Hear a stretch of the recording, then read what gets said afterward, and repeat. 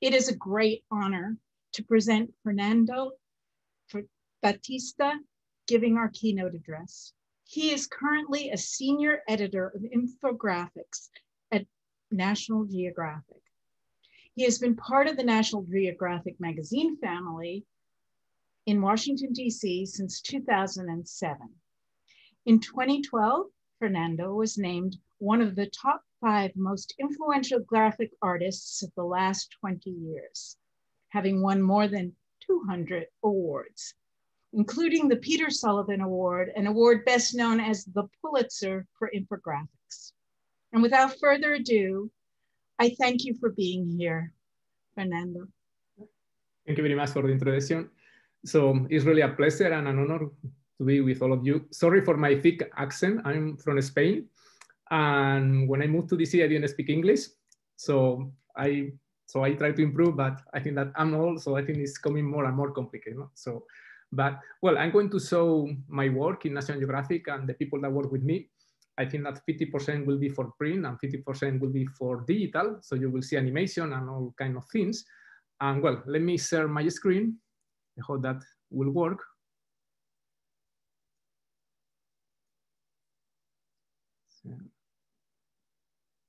Can you see my screen? Yeah. So, well, National Geographic um, had more than 130 years, and there are always artists in National Geographic, no, working in uh, as part of the staff, no. And I follow a little bit that kind of tradition. Um, this is an illustration and a text that I wrote and I paint for Traveler magazine. It's not really scientific illustration, but they create a video about uh, this illustration that has some kind of background with my history. No? So this is an illustration that I did about my city, Bilbao, in the north of Spain, in the Basque Country. And usually I work with, uh, with models. Sorry.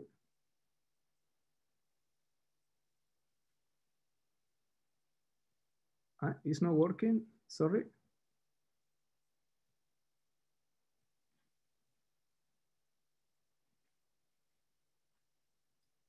Yeah, so, and this is uh, to, to make this illustration, I made this model by hand. And this is a video. I'm going to put just one minute and a half.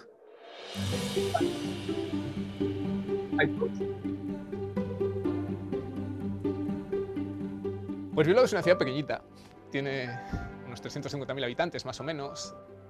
Lo llamamos el Bocho porque está, el Bocho es como un agujero, está rodeado de montañas, entonces está cruzado por el río Nervión y bueno, pues está en el País Vasco, en el norte de España. Yo nací en el centro de Bilbao, en Indauchu, que es como corazón de la ciudad. Y bueno, para los bilbaínos yo creo que es la mejor ciudad del mundo.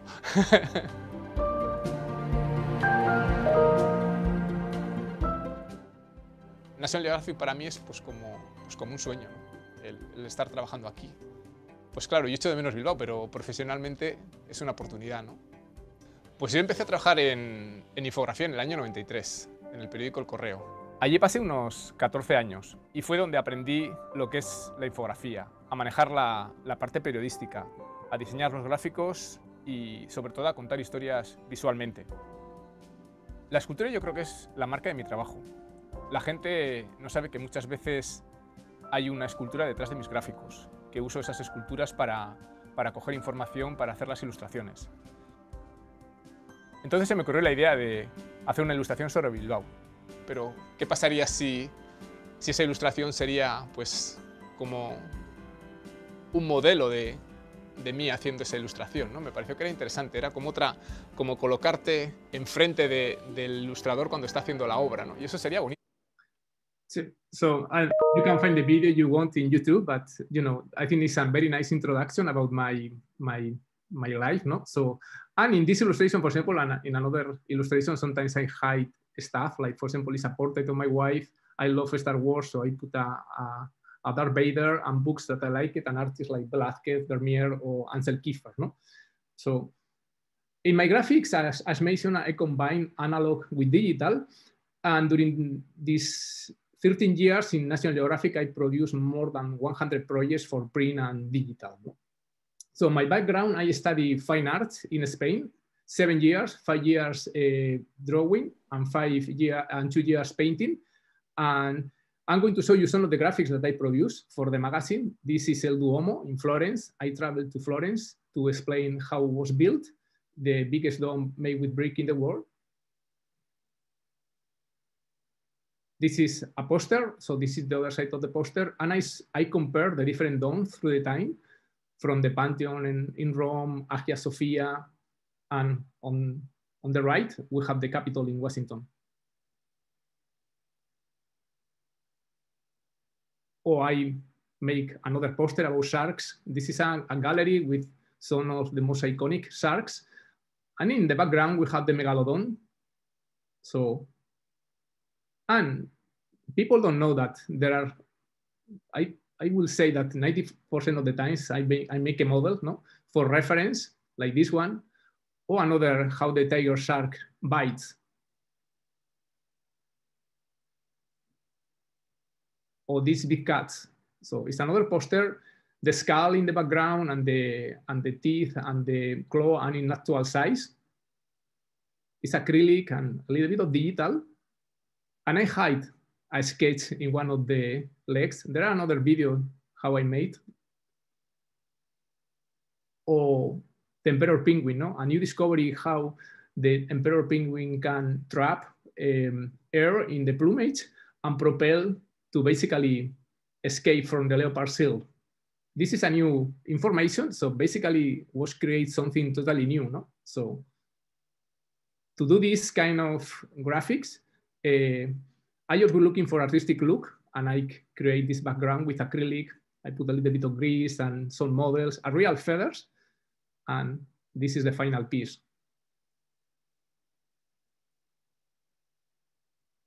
Well, this is a time a timeline. I'm I start to feel old, 55. So from left to right, you can see my progression. So I hope that a few years later I can add another more. so my first contact with graphics, I think that probably was the models. No? When I was a kid and I made models from Star Wars, like this one. Some of the, these models I keep in in Spain, in Bilbao, my city. And I a big fan of sci-fi and comic. So I create comics when I was a kid and I study anatomy with Tarzan. And when I watch movies that I like it, I create models with clay like this one. Oh, and this is the first gift to my wife in 87. He still loves uh, classic black and white movies. This is my second gift to my wife. Uh, this is a character that I designed for her. And it's funny because I built in 87, I made it. And in 2002, if you watch Harry Potter, you can find Dobby that is very, very similar. So I studied fine arts seven years. This is some of the works that they produced there is with ink and acrylic. This is a portrait of Yukio Mishima. And I continue drawing. This is ink. Basically, I love to work with the light and simplify. And I experiment with, of course, when you are learning, you try different things. No, this is a fossil, some kind of painting that look like a fossil. And when I was around 16, 17, I, I have a lot of interest in stop motion, no? And, and with some friend, we create some stop motion animation. No? This is a character that I built, and of course, and that time in Spain, it wasn't like today, no? So it was basically recycling stuff, no? The material that I used to build this head was epoxy com composite to repair pipes, fur for our dogs, the eyes from my sister doll, and the skin from my mother's shoes, no? So it was basically recycling, no? So, and I, I play different techniques. I bought an airbrush. Uh, the young people probably don't know that, so they know probably from the Photoshop but at that time it wasn't Photoshop, no? So you you need to to work with with traditional, no? So this is a Batman that I I I, I love the movie from Tim Burton, and I make the, that portrait with airbrush. And this is another model that is a pterosaur, but of course at that time it wasn't an infographic, so I combine a pterosaur with a bat's wings, so it's not really accurate, no? But and now my old hobbies are part of my way to produce graphics, no? So this is one graphic that for me is special. Uh, it's about pterosaurs, so it's a four pages. I work with Mesa Schumacher. She was the researcher. And this is a detail of the head. This is a portrait of the Quetzalcoatlus, the one of the biggest one. You can see the, the circle is the eye in actual size. And I compare the anatomy of the bones of, you know, bears, bats, and human. No? We share the same bones, but different length and, and shape. No? And the process in National Geographic is basically my role is first the concept, second selection of the information, from I always work with one researcher or more, sometimes depend on the size. I sketch several so uh, ideas and I design for print and digital. No? So for example, if for, for digital, I will I will need to prepare the, the storyboard. No? And I decide the art of the style of the graphics in both platforms. No? And on top of that, all need to be accurate. No? So, and all began with this, no? Paper and pencil, rough sketches, with uh, Illustrator and Pencil, I refine the sketches and make some kind of distribution of the information. And in this case, we make a reconstruction of one of the pterosaurs. No? So Mesa um, compile all the information. This is some kind of blueprint for me. So all the measurement from, I think, three or four different experts. I built a model with that um, blueprint and this model allowed me to keep the proportion and play with the design. No? So, and from there, I build other models. Sometimes are pieces. This is another pterosaur, the head, or the fingers. For me, it's very helpful. And during all the process, the expert check the graphics. This is some of the feedback from the expert and with some kind of uh, correction for the bones and stuff. No, so, and for me, it's very, very important that the graphic are easy to read and need to be very, very, very organized. No? So I spend a lot of time. It's not just that need to be beautiful, that of course I try that, that looks nice. No? So, but need to be organized. And so people need to read in very easy way and need to understand. No? And so I need to pick up the best information, cool information and interesting. No? So, and this project, for example, I was very lucky because uh, uh, was they asked for a cover and I designed some covers and was published and I think that's more than 50% of the international edition no? from Japan or Germany. So, and the question that all people tell me, why I, do I use sculptures? Well, this is like your personal model. This is orangutans. And with this one, I can, I help me to create this kind of graphics. No? So it is kind of visual information you can get the perspective, you can get the light, you can get the volume, and it's very helpful. So, or this one, no, the octopus. You can see how it works. You can get tons of information. No? When I combine a, a sculpture with illustration, I think I can I can make better better graphics. No, this is the graphic that I work with Mesa Chu and Shizuka uh, Aoki that she worked with me um, she's a scientific illustration, and sometimes if I don't have enough time, she helped me to, to produce uh, some of the anatomical drawings, no? so in vector. So in this graphic, we explain it's just one page, how smart are the, the octopus and the distribution of the brain, no? 35% brain in the, in the head and 65% in the arm. No? So, and in this case, basically, I take a photo with my iPhone of the model and I add a little bit of Photoshop and the internal organs are vector with a little bit of Photoshop. No? So, and it's just one page. No? And I'm not the only one to, to use models. No? Uh, we think that now all is digital. And for example, in these movies that people probably don't know that the city in Blade Runner was really a model, or in The Lord of the Ring was another model, or in Harry Potter was another model. Of course, there are special effects on top, or Star Wars, no? In this, I'm a big fan of Star Wars, and I, I think I learned a I learned a lot to make models and, and tricks and stuff. In this case, the models maker use hundreds of key, Q-tips to create the illusion of people in the, no? And in our animation, we play a little bit with that, no? We need to be very, very creative, no? This is my last project that I published uh, just a few days ago. It's about Sabertooth, the famous cat. And this is a project of four pages. This is the flap, and this is the internal gatefold, three pages. And I compare the anatomy of a lion, a mother lion, and a saber tooth, no? the Smilodon populators. New information uh, show that was bigger than, than we expect. No? They found a skull in Uruguay that they was around close to 1,000 pounds. No? In the back, you can see the skull and in actual size and the comparison with a lion. No? So this is a detail.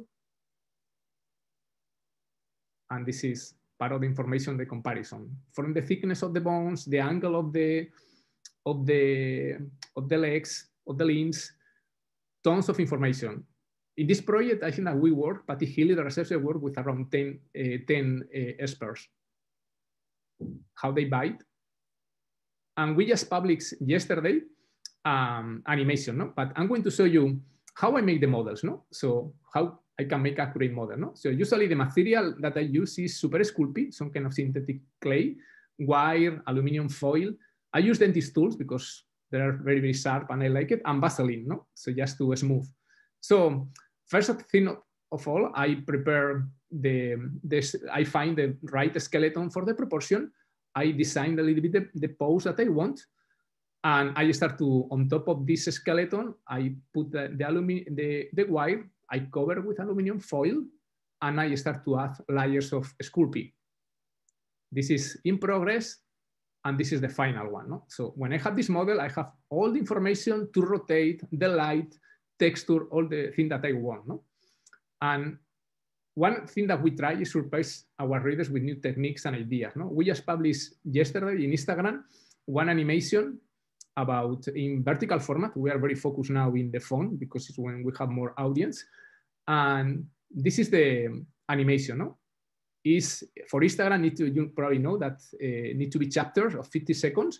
So it's tricky, but this is the Tales of the Giant.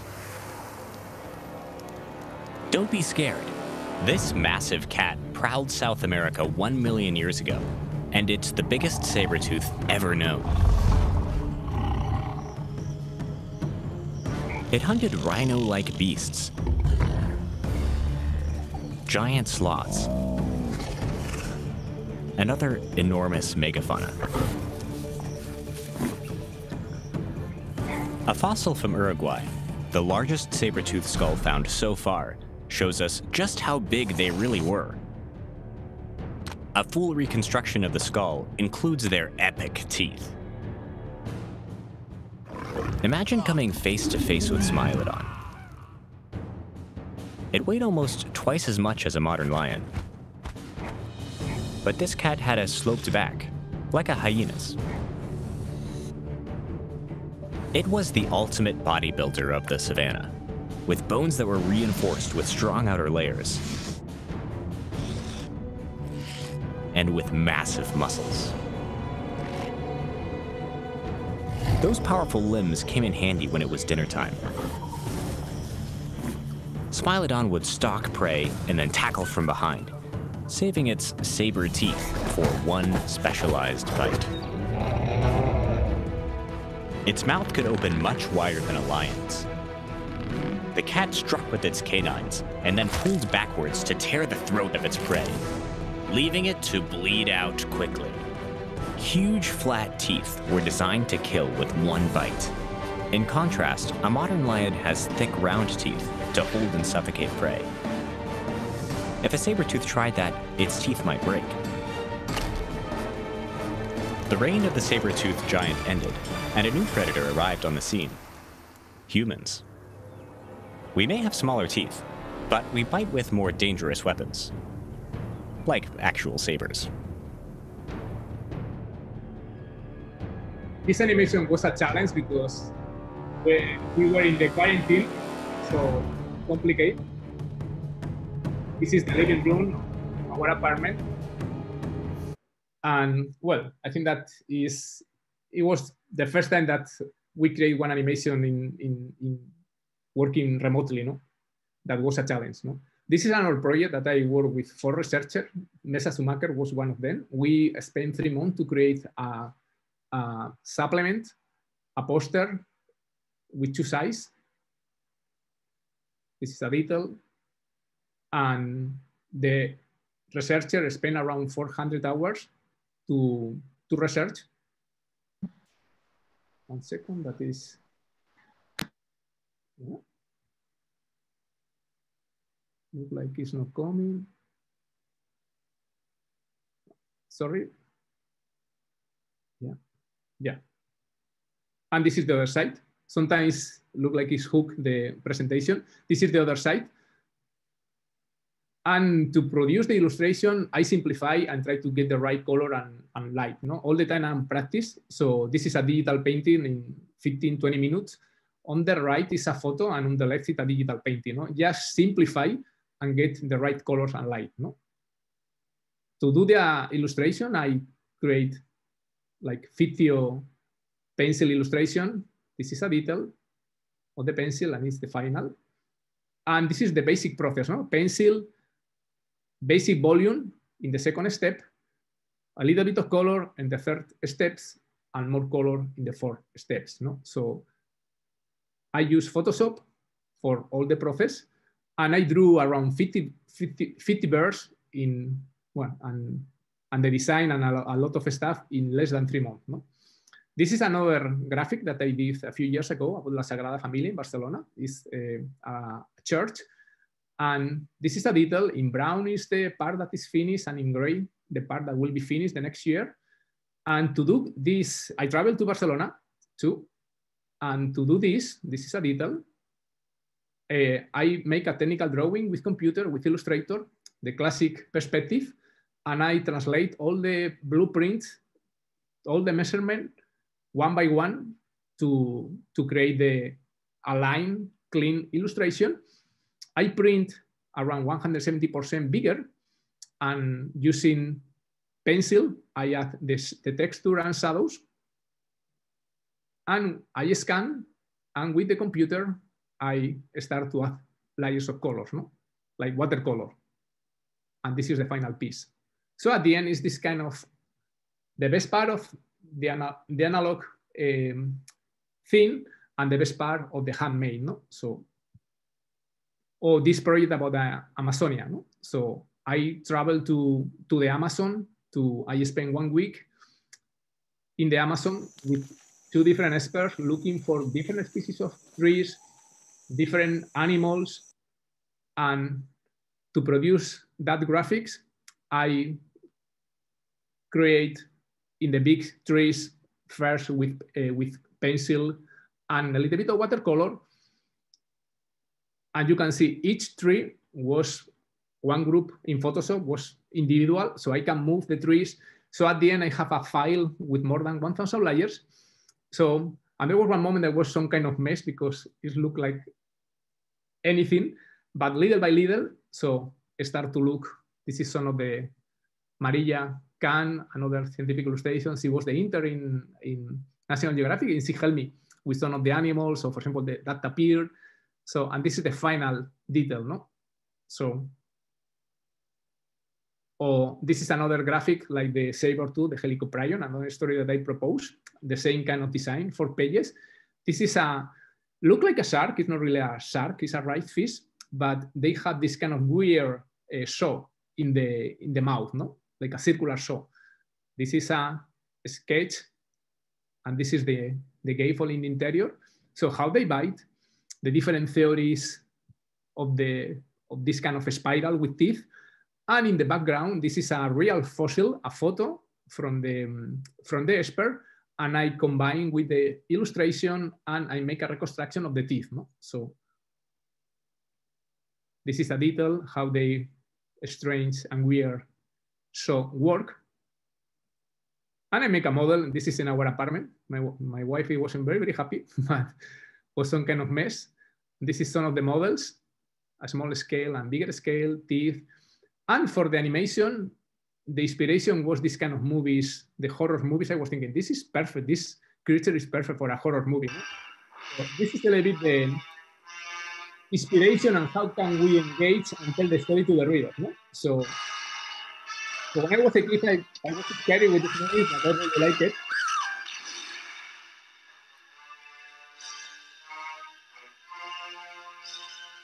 With this kind of concept, this is animation. Curse of the Buzzsaw Killer.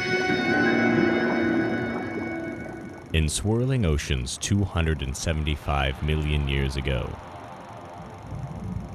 lived one of the top predators of its time. the Helicoprion. It was like a mutant creature from a horror movie. It looked like a shark with a terrifying buzzsaw in its jaw. Its bite was as strong as a modern crocodile's. How could such a bizarre jaw work? The angle of its mouth was bigger than a great white shark. Teeth pushed the prey deep inside. The jagged spiral was forced into a notch in the upper jaw. Prey was sliced in two. No less frightening was its size. Twice as long as a great white, it had fewer fins and a narrower body. Don't get close to these blades. They're four inches long and angled backwards. New teeth pushed older ones deep into the whirling rotations in the jaw. Teen monsters had two rotations. Adults had four circles of flesh ripping chompers. More than 150 of the fossils have been found. The odd shape mystified scientists for over a century. The Helicoprion went extinct long ago, but beware the curse of the buzzsaw killer. It's always wise to play it safe in the water. so in this kind of project, uh, you need we need to compress a lot of information in just a couple of minutes. The first thing is the storyboard. I create that one. And after I have the model, we create a photogram photogrammetry of the model. This is the photographer of National Geographic. They shoot around 200 uh, photos of the model. This, this mark. And with this model, Monica Serrano create a 3D model with all the texture of the, of the real model. That is very cool, no? So, and the Monica and Diana Marques refine the model. And this is to create a feeling of underwater.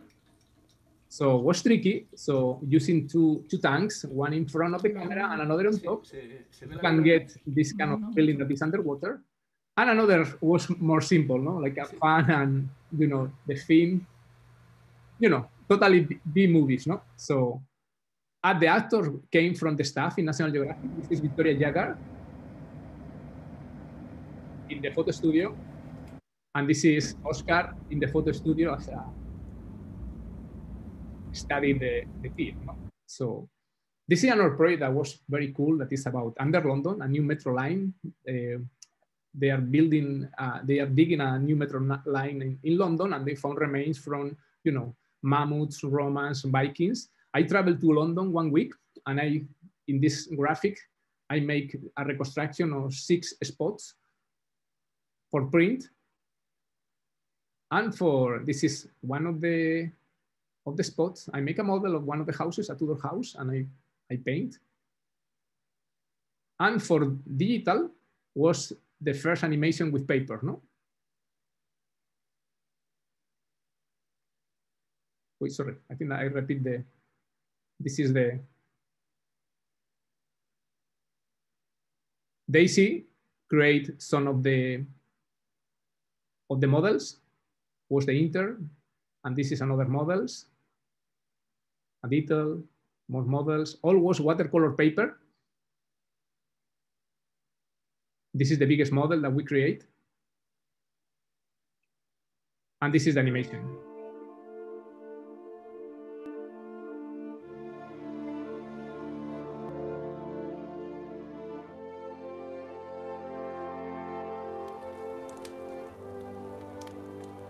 Once upon a time, London was a very different place, and woolly mammoths roamed the tundra.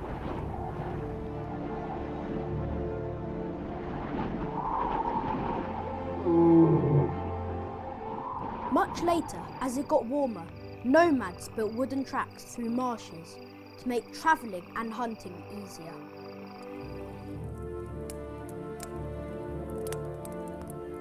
People started coming from near and far, and the Roman period was a time of immense growth. But living in peace wasn't always possible. Queen Boudica led a revolt against the Romans in 60 AD. The voice is from the.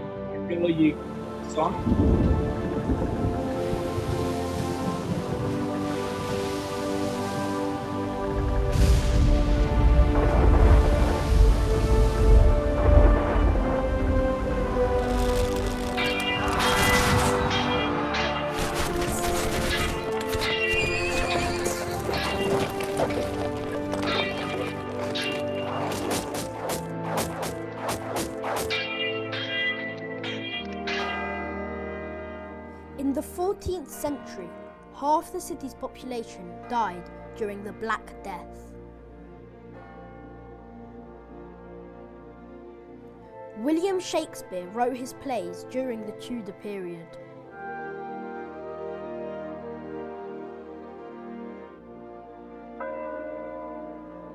During the Great Plague, many thousands died, and the doctors Well, you can find the video on YouTube. It's a little bit one minute more. And this is how some kind of behind the scenes.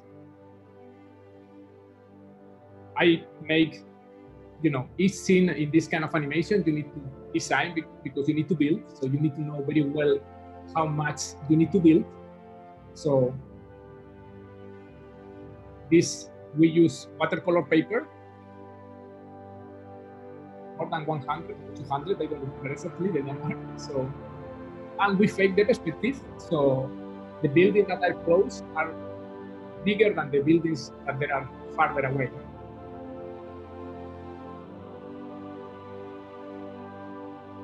and the paper has some kind of special texture you know when you put the light all came alive and it's very very rich and it's another way to tell the stories you know?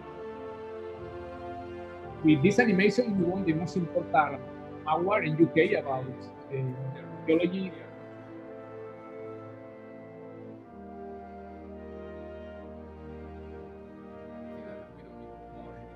And it's the first time that I make sculpture with paper. No? This is without special effects. This is with special effects. Oh, this is another graphic. This is a visualization of the Bible. So it's the Old Testament and the New Testament by chapters. And we analyze 400 um, remains of the, of the text. And in these bars under the, the, this kind of comic no, with uh, some kind of scenes or highlight of the, of the Bible, these are the fragments from the scrolls that we have text. No? So we explain the readers how much text we have or how all we can go with the, with the text in the Bible. No, was very very hard to to study and to create. No,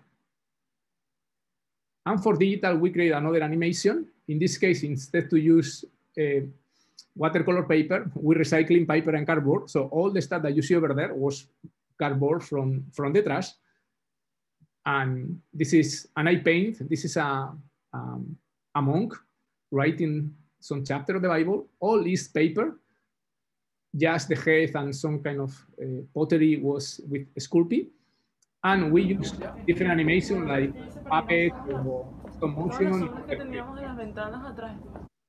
This is Dragonframe, the program that we use for the animation stop motion. It's some kind of Photoshop that allows to see the different chapters, different the different story frames. And this is just we shoot 12 frames per second this is one scene with the with the Virgin and the and Jesus, and this is just to prepare one of the of the frames. No, imagine when you have, you know, thousand of frames. No? And this was the first experiment with Instagram, and we create behind the scenes and we chop the the video Instagram, and we get a lot of traffic.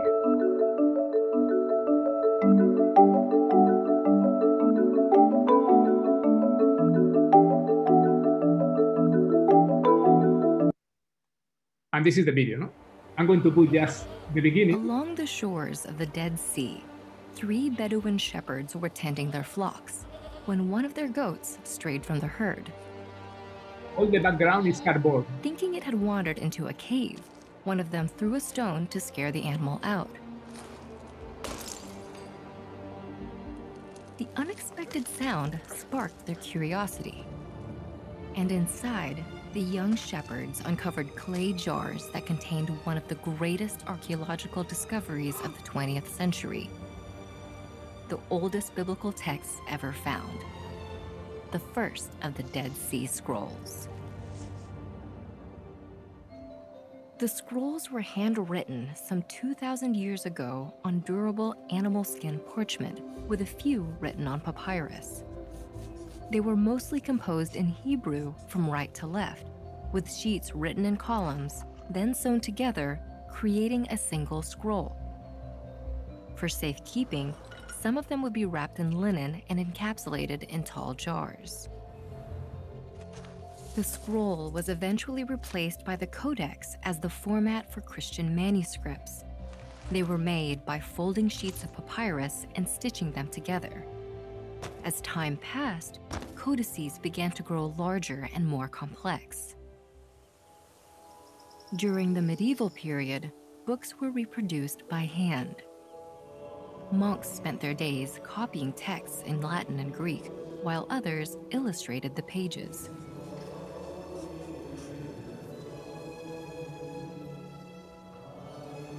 Let me show you my favorite scene. We Wire the hides of hundreds of sheep or calves. and this is my favorite. But it was the introduction of the printing press that transitioned the Bible from the Middle Ages into the early modern world. This invention revolutionized book production, ultimately making the Bible available to the masses. and this is one of the scenes without the special effects. All is stop motion and also was built. And this is with the special effects. And we hide all the team that work was in the frame. And there are a, a famous infographic uh, framing on the wall too. And this is an illustration with the lion on the, on the right of my city. Or this one about giraffes, no? I love giraffes. So I made this graphic, uh, the comparison between a okapi, a human, and a giraffe, the anatomical difference. The first thing we traveled to, to Baltimore Zoo to, to meet with some of these uh, specimen. This is with Riley and Taylor, graphic assistant and cartographer. Um, we saw giraffe running. This is the female. The male is Caesar they were very, very happy. And I create this comparison from the bones, circular system. Shizuka Aoki helped me in, in that one too, with the saving illustrator of some of the organs. And I always like to start with a pencil and from there with uh, real models and, and computer, no? And this is the process to create one of the illustration, no? First the pencil, a, a background and with layers in Photoshop, I paint, this is the Okapi. So, or this one, no, the, the Vikings. So this is a cover that I produced, was a bestseller. And to create the character that is a reconstruction of, of a chief, this is one of the sketches. I traveled to Denmark to a Viking museum, and I produced, well, we produced, because there were a team, uh, 10 pages. One side is a map, and the other is a Viking ship. So I made this kind of reconstruction. All was accurate. And well, of course, so I was the model, I, I am always the model of my family. And I, my job is to tell that part of the stories that photos and text cannot, cannot do it, no? So, and we create our second animation with paper, but with different style, no? The part that I really enjoy is design the characters, the construction with paper was paper, different kind of paper, just white. This is the joints. And this is a couple of sets This is painting to a scale set. All is cardboard. And this is uh, Daisy. I have the idea of using shadows, so using some kind of prosthetic pieces of cardboard. And this is the animation. I'm going to put just a little bit.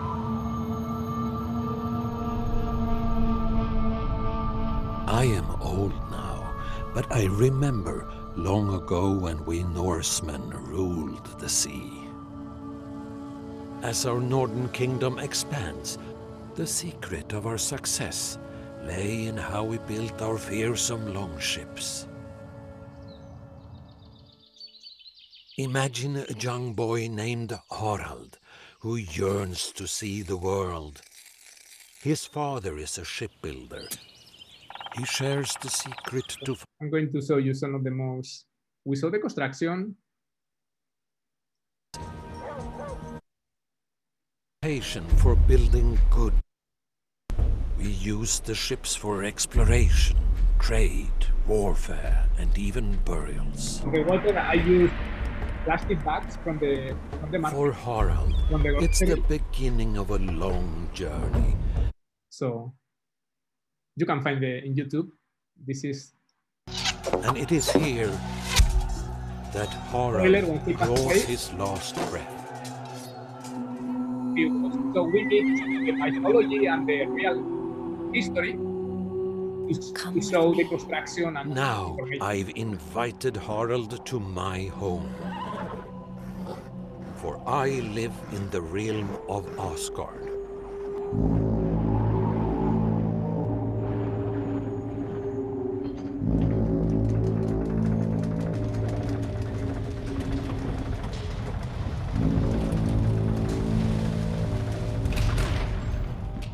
My name is Odin, father of the Nordic gods.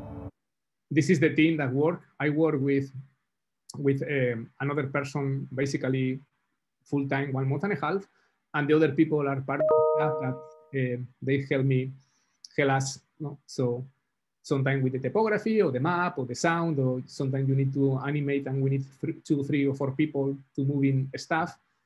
Or another project about Easter Island. So I traveled to Hawaii for a new experiment to move one of these statues in vertical position a new theory. And so I was part of the experiment, three group of people pulling ropes. I'm the one to see the, the guy with the hat is I was pulling and sometimes they start to fall, no? So I make, always when I travel, I make sketches and I share with the expert there and I get comments. But of course, I'm the model again. So this is um, some of the pencil illustration and from there I create a composition. I make an acrylic with watercolor and um, color pencil, and this is the final piece. No? For digital, we create our first stop motion animation. This is a test. It Was Christmas, so was a matryoshka with some kind of Star Wars figurine, and people, uh, our bosses, uh, approved, and we start to cost the construction of the set, paper mache. I customize wrestling figurines to create the people, and we shoot. I'm going to do little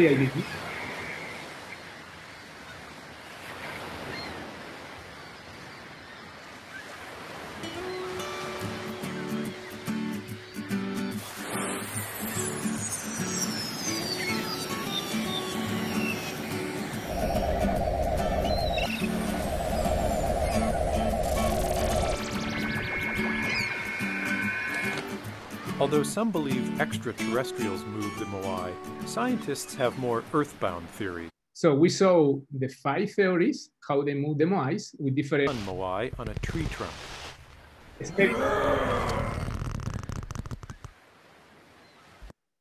And with this nomination, uh, with this uh, animation, we got well. You can find in, the, in YouTube too. We got Emmy nomination for new approach. So we went to New arts, York lifestyles, and culture. for the ceremony. Walking with Giants, National Geographic Magazine Digital Edition. Lost and Found. and we didn't win. But well, I think that was cool to be there. No, and this is just the final project. So that I'm going to show you is a Trajan column in Rome, 2000 years old. This is the print version.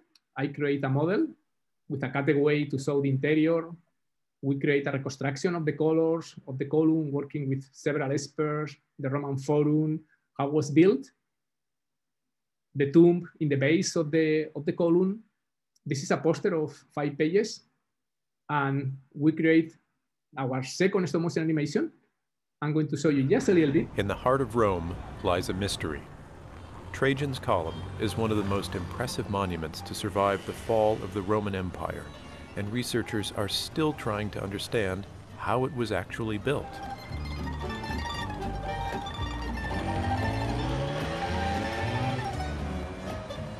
So for, some, for the idea that you can travel to the past, our character using a time machine travel to Rome,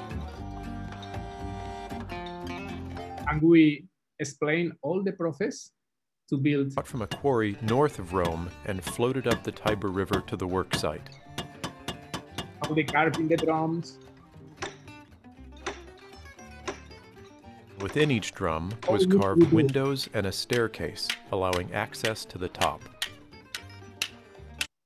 So how they move the drums, the lifting tower.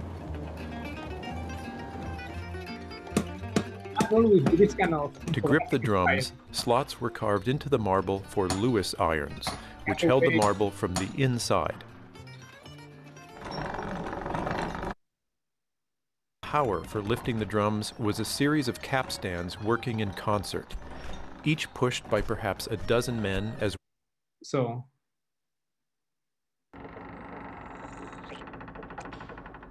To see what's happening inside the lifting tower, let's take away one of the outer walls of this model.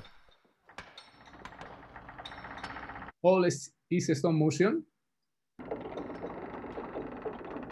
And visually you can see well how Once the drums are set, the craftsmen smooth the surface and begin work on the 656 foot long frieze, which tells the story of Emperor Trajan's war victory. And we finish with the tomb and some kind of fun that you see through all Trajan's column has stood for more than 1900 years and was deeply influential. Over and we we got our second Emmy nomination and we didn't win again. So we thought that the third one will be the good one. No? So, and that's all. Thank you very much.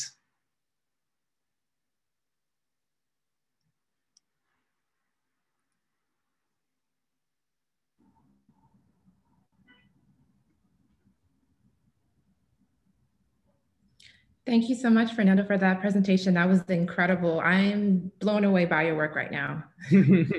uh, well, I, I really you want to, to see one of the, I have here, so people can see a little bit close, um, one of the models. You probably know this character that was. Yeah. Amazing. Thank you so much. Um, we're going to move on to our questions now.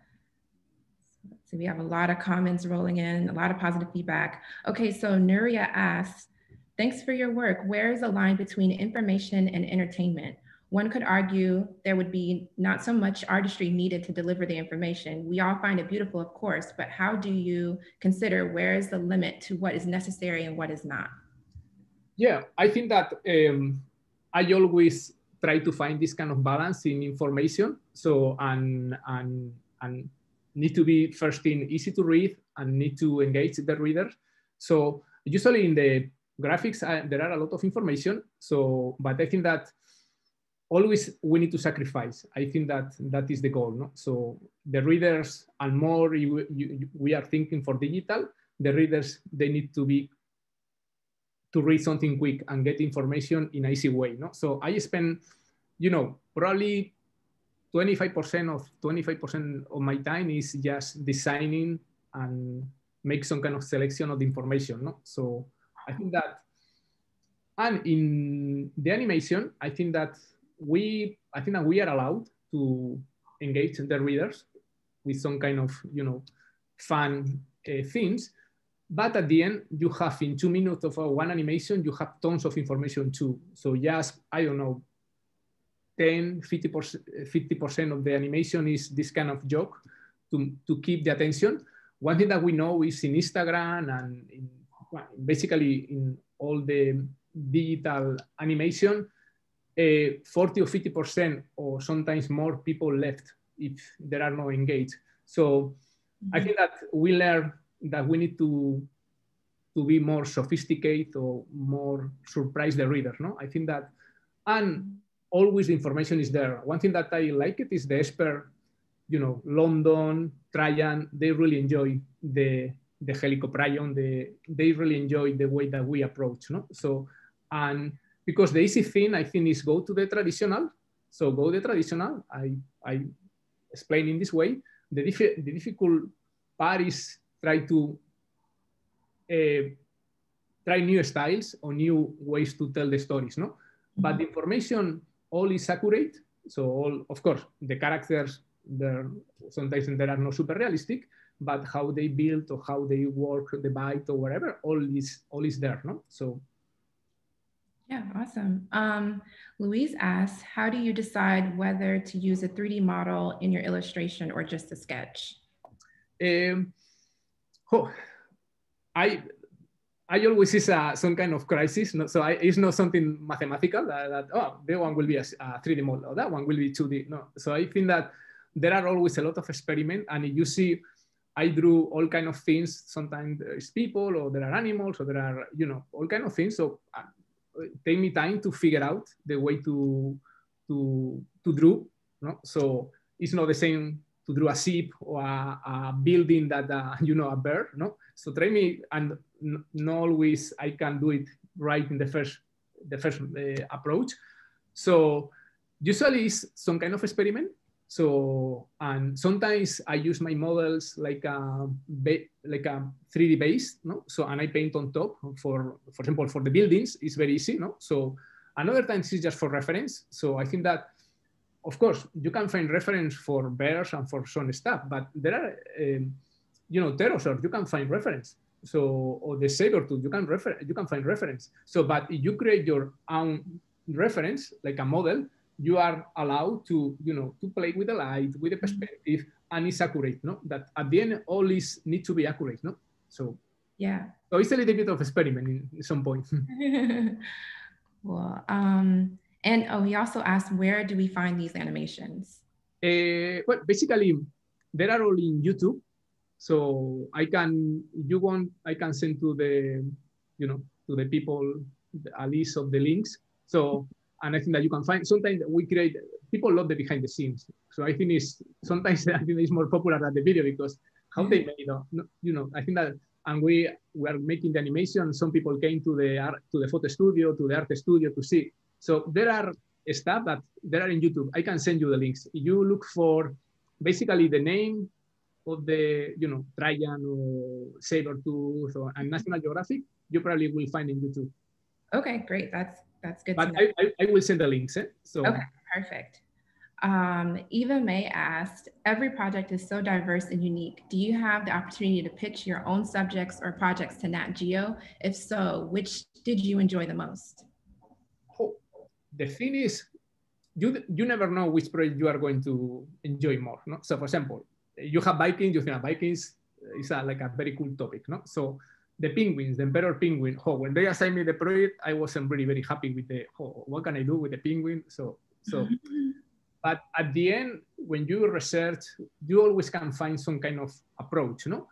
And so you never know, but I really like history and I really like animals, no? For example, I didn't show, but this year I, I create another uh, graphic about the dodo, no, the extinct bird.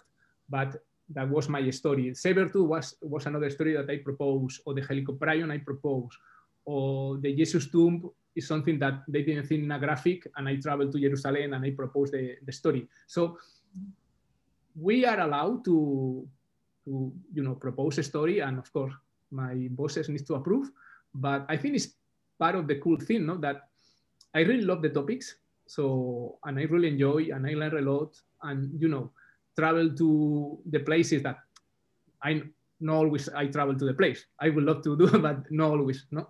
But you learn a lot in the place and you can get, for example, the Amazon, if you want to, to, to paint a, a category of the rainforest, the only way to do it is go to the place. I was with a list of 50 or 60 trees and figure out, no? So that is a little bit the, so you can propose the, uh, it's the same that the size.